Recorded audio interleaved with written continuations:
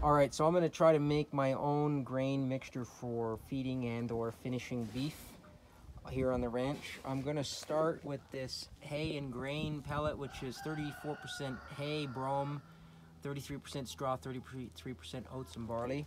I'm gonna mix in some Timothy pellets, I'm sorry, some alfalfa pellets, some Timothy alfalfa pellets, some black sunflower seeds, some corn, oats, barley with molasses mixture and some rice bran mixture.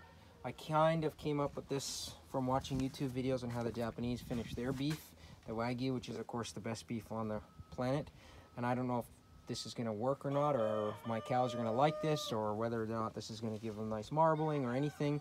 But I'm gonna mix up a couple hundred pounds of grain here in this old fish tote and put it in my shop and feed it to the cows and see what they like and what they don't like and see how it works and just try to come up with my own formula for finishing steers.